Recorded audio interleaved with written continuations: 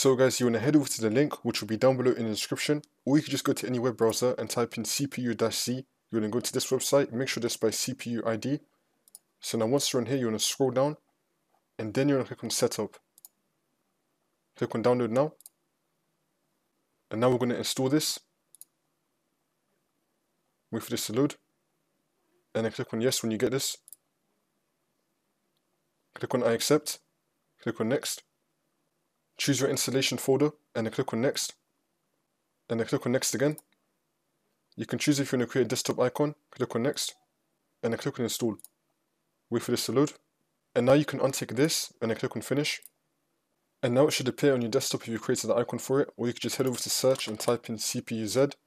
We're going to click on it, and then click on yes. Wait for this to load.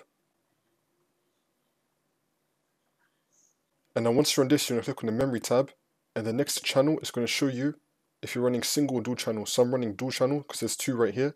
If you're running single, it's going to say one for you. If you're running dual, it's going to say two for you, like how it does for me.